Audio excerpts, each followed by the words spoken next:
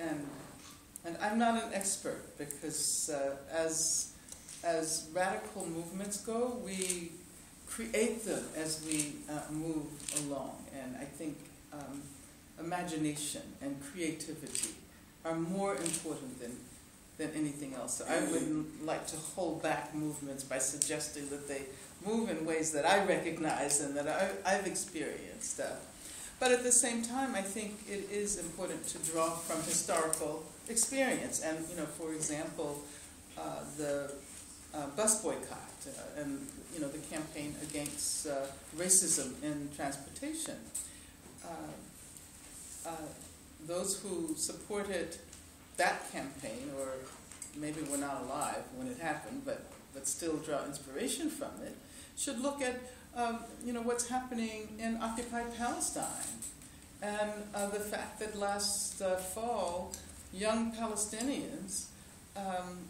call themselves the Palestinian Freedom Riders after uh, people, young people in the U.S. Uh, in the 1960s who called themselves uh, Freedom Riders, and they boarded uh, buses in occupied Palestine that are only designed to transport Israeli settlers. And so, and they were arrested. Uh,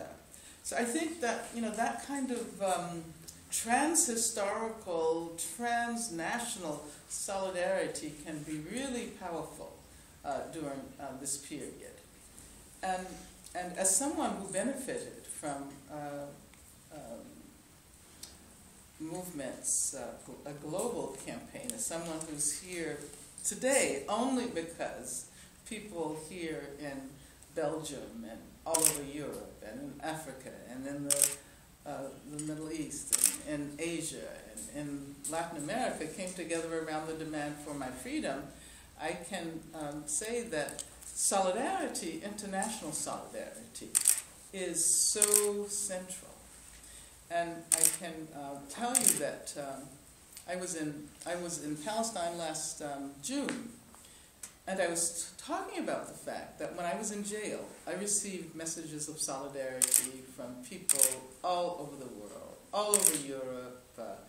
from um, Germany, East and West, and as a matter of fact, from East Germany, I received over a million postcards from little kids. And I go back to Germany today and I meet the grown-ups who tell me how important it was for them as children to participate in that effort because it made them feel as if they were part of something you know, really important and really um, global. Um, but when I was in Palestine, I mentioned that I had gotten letters from prisoners as well. And among the prisoners, I mentioned a, a, message, a particularly poignant message I remember receiving from Palestinian prisoners, Palestinian political prisoners who had signed a message of solidarity to me that was smuggled out of uh, the, the, the jail where they were and was brought to me in my jail cell. And then um, I guess the word got around, and, and this uh, man came up to me a couple of days later, and he said, you know, I was one of the prisoners, uh, you know, who signed that um, solidarity message uh, 40 years ago. And it was really, you know, wonderful to be able to embrace him in the free world. And, you know, as, some, as people who never knew each other, and 40 years have gone by, we still felt this really you know, powerful, um, um, intimate uh, sense of uh, connection.